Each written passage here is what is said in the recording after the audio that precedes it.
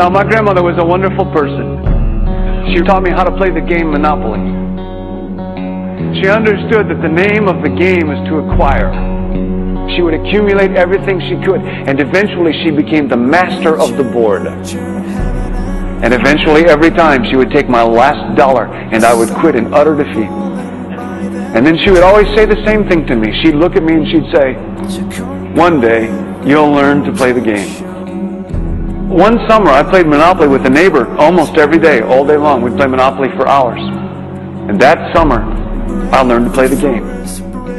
I came to understand the only way to win is to make a total commitment to acquisition. I came to understand that money and possessions, that's the way that you keep score. And by the end of that summer, I was more ruthless than my grandmother. I was ready to bend the rules if I had to to win that game. And I sat down with her to play that fall. I took everything she had. I destroyed her financially and psychologically. I watched her give her last dollar and quit in utter defeat. And then she had one more thing to teach me. Then she said, now it all goes back in the box. All those houses and hotels. All the railroads and utility companies all that property and all that wonderful money. Now it all goes back in the box. I didn't want it to go back in the box. No, she said. None of it was really yours. You got all heated up about it for a while. But it was around a long time before you sat down at the board. And it will be here after you're gone. Players come and players go. But it all goes back in the box. Houses and cars, titles and clothes, filled barns, bulging portfolios, even your body.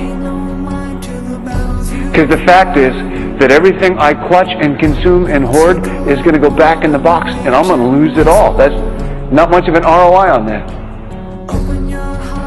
You have to ask yourself, when you finally get the ultimate promotion, when you've made the ultimate purchase, when you buy the ultimate home, when you have stored up financial security and climbed the ladder of success to the highest rung you can possibly climb it, and the thrill wears off, and it will wear off, then what? How far do you have to walk down that road before you see where it leads?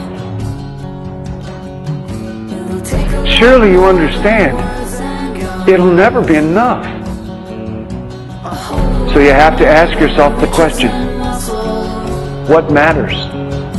The hands of the many must join as one, and together we'll cross the river. Nature, nurture, heaven, and take a lot more than words and guns.